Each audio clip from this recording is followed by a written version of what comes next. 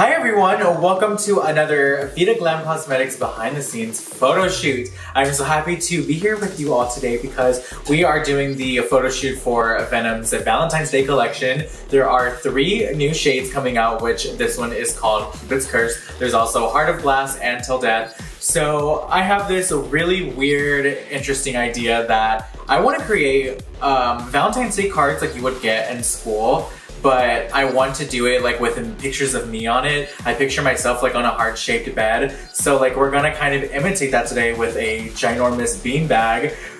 Hopefully it goes the way it goes, like I see it in my mind, but we'll see.